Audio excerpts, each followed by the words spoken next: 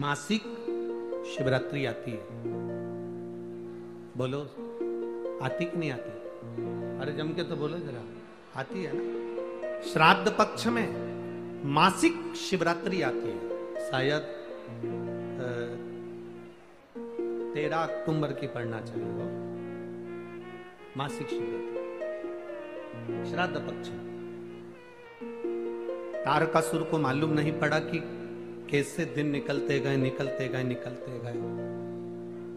एक श्वेत पुष्प तारकासुर तोड़ कर लेकर आए। श्वेत पुष्प।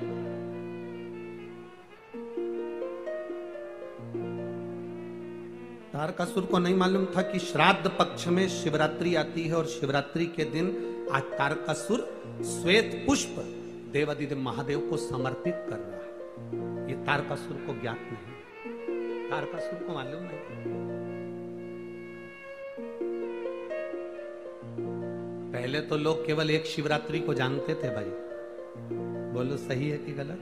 केवल एक शिवरात्रि माघ महीने की जानते थे कि महाशिवरात्रि होती है।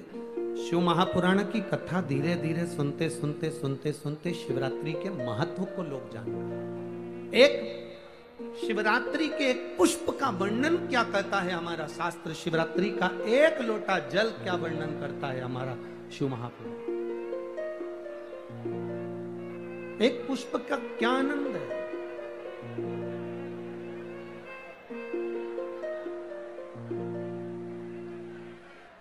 एक पुष्प का क्या रस तत्व है?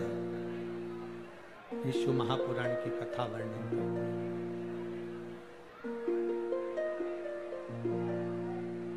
भगवान देवादिदेव महादेव की कथा। तारकासुर को नहीं मालूम कि शिवरात्रि है श्राद्ध पक्ष की। उसके स्मरण में नहीं आ पाया कि ये श्राद्ध पक्ष की शिवरात्रि है। उसके स्मरण में नहीं आया कि ये शिवरात्रि कितनी मूल होती है, कितनी महत्ववान। इस शिवरात्रि की कितनी महत्वता होती है? शिव महापुराण की कथा कहती है, भाई, श्राद्ध पक्ष में पड़ने वाली शिवरात्रि का स्मरण ज़रूर करिएगा। किसी नारी को अगर 32 साल भी शादी को हो गए हों और संतान नहीं हो रही है 30-35 साल हो गए 32 साल हो गए 28 साल हो गए 15 साल हो गए 20 साल हो गए, और संतान का सुख नहीं तो श्राद्ध पक्ष की शिवरात्रि की बड़ी महत्वता है। बड़ी महत्व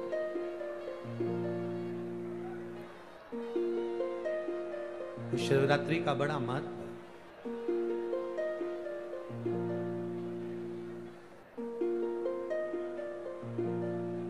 तारकासुर। जान नहीं पाए कि आज श्राद्ध पक्ष की शिवरात्रि है। केवल एक श्वेत पुष्प, केवल एक सफ़ेद फूल तारकासुर ने लेकर आए और बाबा देवादिदेव महादेव का जो स्वरूप था, भगवान शंकर का जो स्वरूप था, उस स्वरूप पर देवादिदेव महादेव ने शिव जी के चरणों में एक पुष्प समर्पित कर एक सफ़ेद पुष्प, एक श्वेत पुष्प देवादित्य महादेव को समर्पित कर भगवान शंकर को समर्पित किया।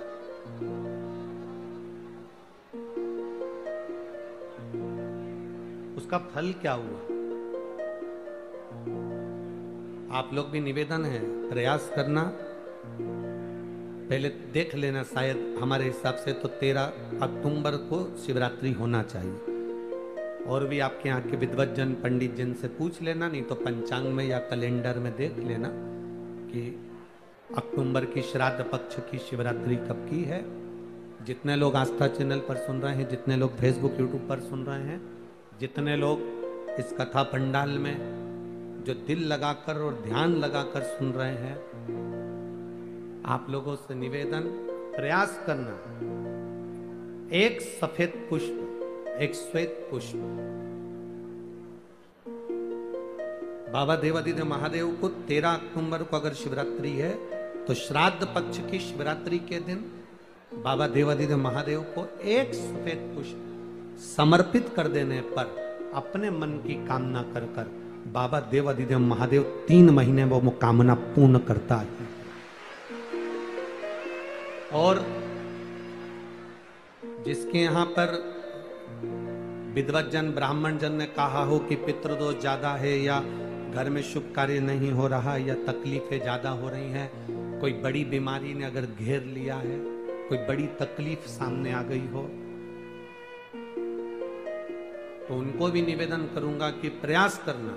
कि एक सफ़ेद पुष्प अपने हाथ से बाबा देवादित्य महादेव को समर्पित करना उसके बाद तुम्हें जो बड़ी बीमारी है, उसकी जब शिवरात्रि पर आप समर्पित कर दो, एक महीना पूर्ण हो जाए, अगले महीने की शिवरात्रि आए, श्राद्ध पक्ष की शिवरात्रि जाएगी, अक्टूबर की, फिर अगले महीने की जब शिवरात्रि आए तो उसके पहले आपकी जो बीमारी है उसकी एक बार जाँच कराना। बाबा देवादिदेव महादेव, उस बीमारी को समाप्त ज़रूर करें। श्वेत पुष्प।